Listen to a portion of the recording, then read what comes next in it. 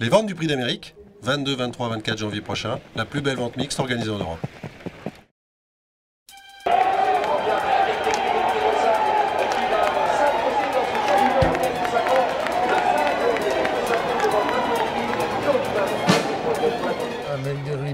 Donc euh, il avait accidenté en faisant la monte. Là, tout va bien, le cheval est revenu bien, il fait de la natation, euh, piscine tous les jours.